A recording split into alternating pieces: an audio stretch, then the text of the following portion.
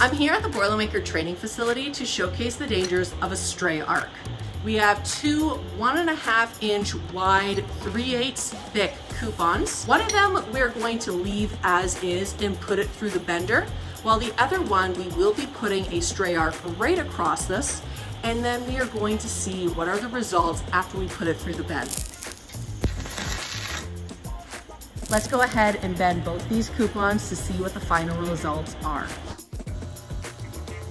we have bent both of our coupons well past the point that was necessary.